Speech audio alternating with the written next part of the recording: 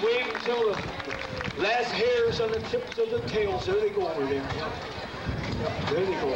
Into the horizon. Oh, whoop, whoop. Good.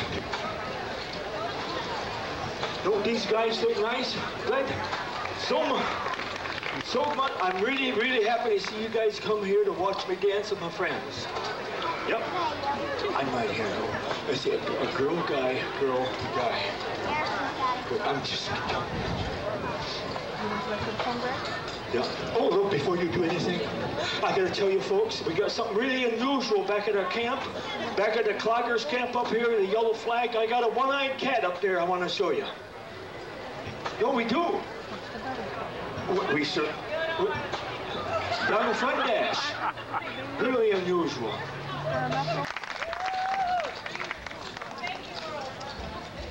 We've got about half of our jumpers out here. They go home, Uh, no, those guys, they never came down.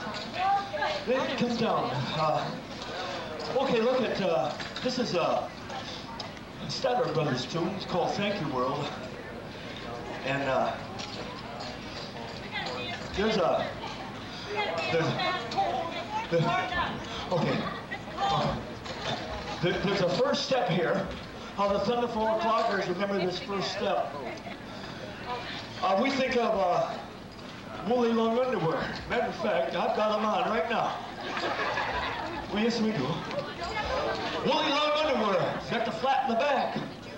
Mark's Callahan strut. It's got the flat in the front. You see. Drop the needle. Yep, flat in the front. I still have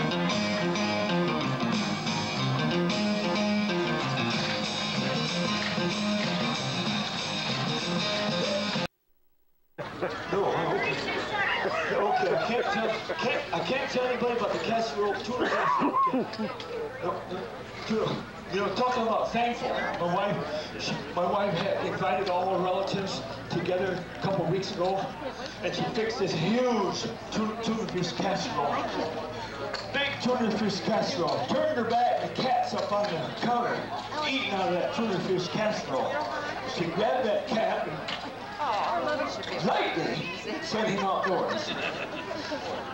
She took that casserole and she kind of scraped it around there. You know what? I mean, what can a cat give you? So she just, so nobody would notice. Everybody sat down to eat. Man, we no more than got done eating, and my wife looked out the door. There's a cat on the laying on the porch step, dead. she called nine. She called the hospital. We had her stomach pumped. That took a couple hours. Got back, all kind of settled in. Neighbor guy come over. He says, I run over your cat. I didn't know what to do with him. I laid him on your porch. Okay.